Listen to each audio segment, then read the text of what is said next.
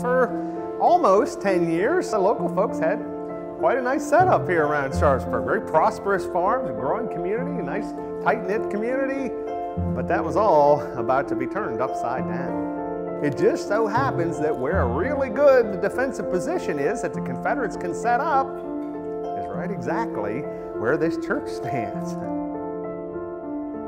A big way that the church played a role for the Union side is as a reference point. This church is about the only structure for quite a ways around. It's a bright white building against the dark woods. Really easy to see. All through the day, they would hone in on their long-range artillery, lob shells, exploiting things in right around towards the church, towards that area, because that's where they knew the Confederates were. And you can see the awful, devastating impacts of this battle, certainly on the armies, but also on the church.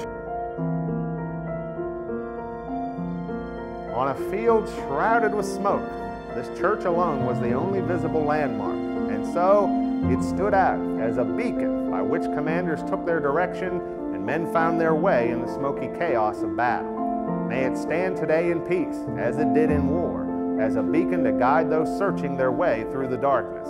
May it stand throughout all ages as a symbol of mercy, peace, and understanding.